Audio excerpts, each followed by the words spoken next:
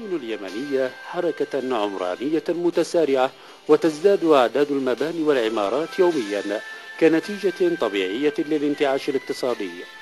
وكما هو الحال دائما فإن كثيرا من المشاكل تصبح ملازمة لهذا التطور.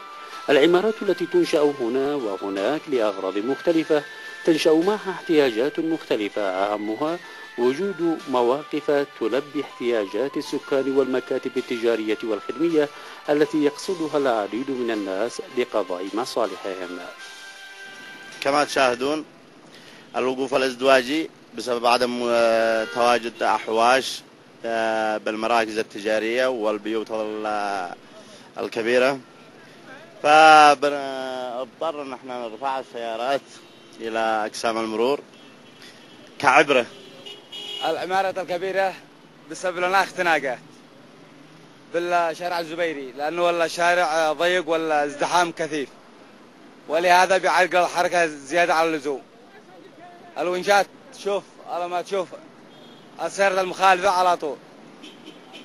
من ضيق الشارع وازدحام السيارات وقد اهتم المشرع بمعالجة هذا الوضع فحدد في معايير إصدار تراخيص البناء أن يكون هناك مواقف للمباني بنسبة 20% من مساحة المبنى تخصص كمواقف. ومع ذلك فإن هناك الكثير من المباني المخالفة للقانون وما تزال تضيف أزمات وتسبب اختناقات مرورية بسبب عدم وجود مواقف للسيارات.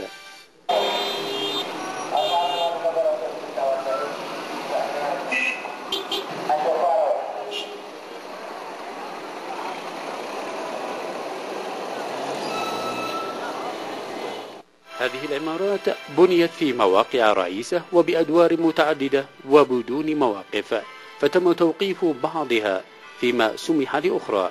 ولا أحد يدري ما سر هذه الانتقائية في تطبيق القانون. طبعا آه، في البدء ما كان فيش هناك قانون قانون بمعنى إنه في قانون يحدد آه، نسبة مواقف السيارات من الأراضي المسموح لها بالبناء. كان في آه، تقريبا آه، لائحة أو لائحة عملت في في الفترة السابقة وهي حددت ب 20% يؤخذ 20% من مساحة الأرض المراد ترخص لها ها كمواقف.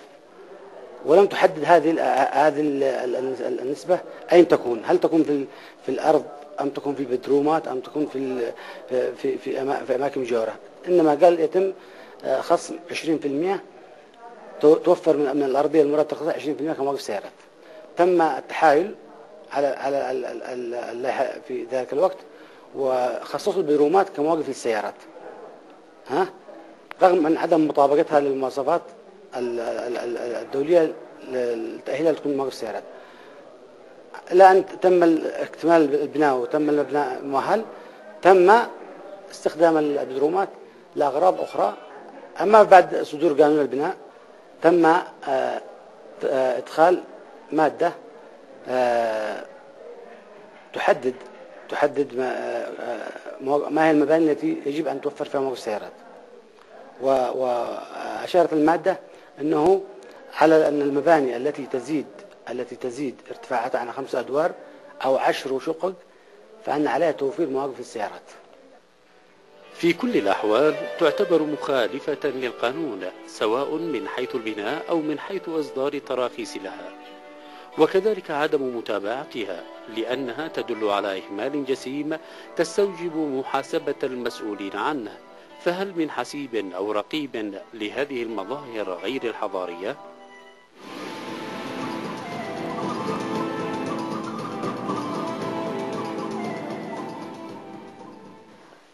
أعزائنا نجدد الترحيب بكم وكما قلنا آه، زوايا كثيرة في هذا البرنامج وهي تسخر لمناقشة آه، المواضيع المهمة التي تهم آه، الشارع اليمني. آه، طبعا معنا عبر الهاتف الأستاذ عايض الشميري مدير عام مكتب الأشغال بأمانة العاصمة. السلام عليكم. وعليكم السلام ورحمة الله. أستاذ عايض أهلا بك عبر الهاتف وبالتأكيد لدينا الكثير من التساؤلات حول هذا الموضوع. بالتأكيد أنت تابعت معنا التقرير المسلط حول هذا الموضوع. والسؤال الأول يقول كيف آه، ينظم القانون بناء العمارات وطبعا المواقف الخاصة بالسيارات؟ آه، شكرا جزيلا. حقيقة آه، الموضوع ذو شجون كثير ونحن في صراع دائم في أمانة العاصمة. من خلال مكاتبنا العشرة الفروع الموجودة في الأمانة دائما ما نشكو من هذا الصراع القائم بين كمكاتب تنفيذية وبين أصحاب المباني والذي يفترض أن يلتزموا بالقانون. حقيقة القانون كما أوضح الأخ نائب النائب أن هناك قانون حدد والقانون طبعا صدر مؤخرا 2005 عن المواقف المحددة لكل مبنى وهو عن خمس وهذا حقيقة فيه قصور أيضا بهذه الصيغة لأن اللائحة لم تصدر حتى الآن. لتوضح أين الوقوف؟ هل هو ارتداد؟ هل هو موقف خلفي؟ هل هو موقف جانبي؟ هل هو موقف بدون؟ فتشعبت هذه القضايا ونحن في صراع في المديريات عن طريق المكاتب ولم يطبق بحذافيره. هذا الكلام نتيجة ال- ال- التقصير الحاصل لأنه مدينا عشر مناطق في المديريات ويفترض أن تتحمل المديريات مسؤوليتها. أقل شيء بالحد الأدنى الذي حدده القانون الذي هو خمسة شقق يعني عشر شقق أو خمسة أدوار. نحن في صراع في هذا الأسبوع عن المباني الذي تقام بدون مواقف. ونتعرض إلى إشكاليات وفي متابعة دائمة ونتمنى من الجميع أن يتعاون معنا لضبط هذه الأشياء والمساعدة للمقصرين ومصدر التقصير. طيب سيد عايض سيد عايض ال- العمارات المخالفة آه، القانون صدر في ع- في 2000 أعتقد في العام 2000 وهناك عمارات مخالفة ل 2002. 2002 وهناك عمارات لا زالت مخالفة حتى اللحظة آه، من الذي صرح لها؟